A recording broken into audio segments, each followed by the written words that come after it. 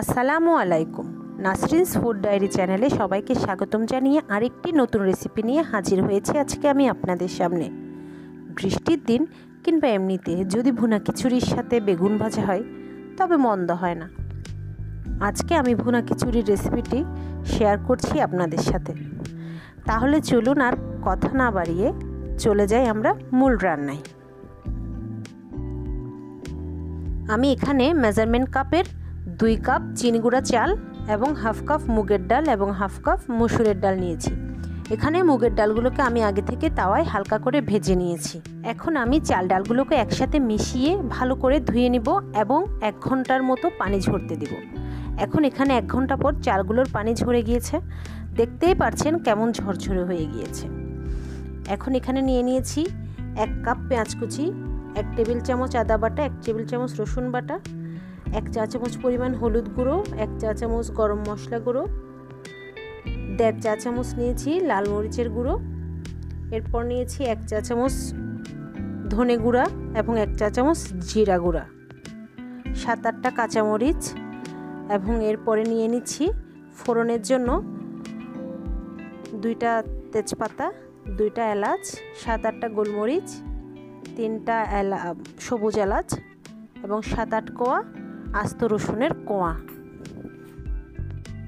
আমি এখানে সবগুলো উপকরণ রেডি করে নিয়েছি। এখন আমি চলে যাব মূল রান্নায়। চুলায় আমি এখন একটি প্যান বসিয়ে দিয়েছি। এতে দিয়ে দিচ্ছি টু থার্ড কাপ পরিমাপ রান্নার তেল। এখানে আমি এক কাপের চেয়ে কম হাফ কাপের চেয়ে একটু বেশি পরিমাপ তেল নিয়েছি। এখন এই তেলে আমি দিয়ে দিচ্ছি গোটা মশলাগুলো। মশলাগুলো আগে দিলে খুব সুন্দর একটা স্মেল বের হয়। মশলাগুলো আমি এখন নেড়ে চেড়ে নিব। নেড়ে চেড়ে নেওয়ার পর এতে আমি এখন অ্যাড করব পেঁয়াজ কুচি। পেঁয়াজ কুচিগুলো আমি খুব ভালোভাবে নেড়ে চেড়ে নিব এবং পেঁয়াজ কুচিগুলো নরম হয়ে আসলে তেলের মধ্যে আমি এখন দিয়ে দিব আদা রসুনের পেস্ট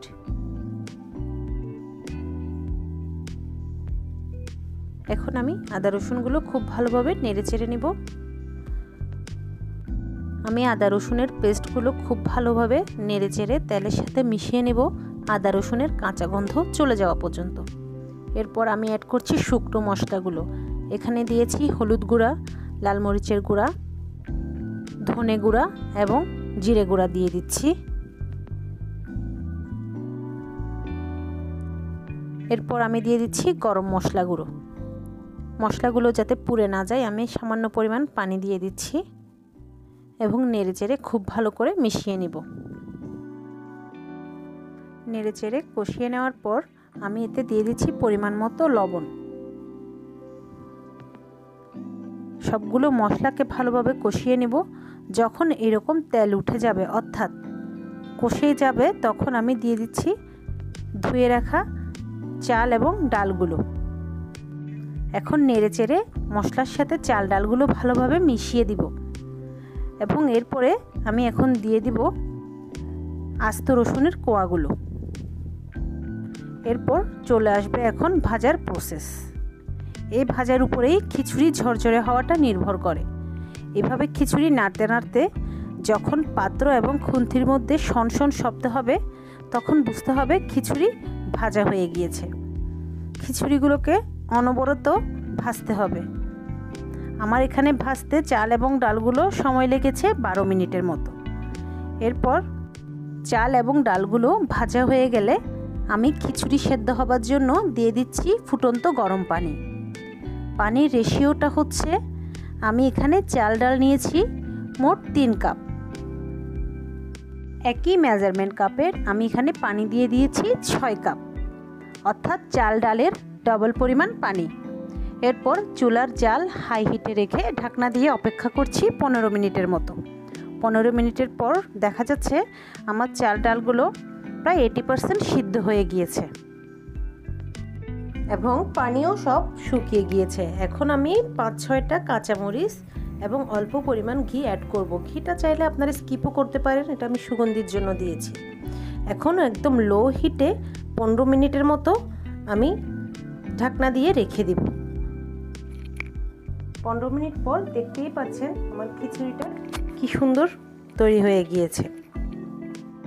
এখন খিচুড়ি রেডি, এবার পরিবেশনের পালা। আজকে আমি আমার খিচুড়িটা পরিবেশন করব বেগুন ভাজার সাথে। এই বেগুন ভাজার রেসিপি আমার চ্যানেলে দেওয়া থাকবে এবং আমি ডেসক্রিপশন বক্সে দিয়ে দিব। আপনারা চাইলে দেখে আসতে পারেন। আপনারা চাইলে ভুনা খিচুড়িটি ডিম ভাজি বা ভুনা, ভর্তা অথবা মাংসের সাথেও পরিবেশন করতে পারেন। খেতে খুব ভালো লাগবে। আজকের রেসিপিটি কেমন লাগল জানাবেন এবং ভালো লাগলে একটি লাইক, কমেন্ট এবং শেয়ার করবেন। সবাই ভালো থাকবেন। আল্লাহ হাফিজ।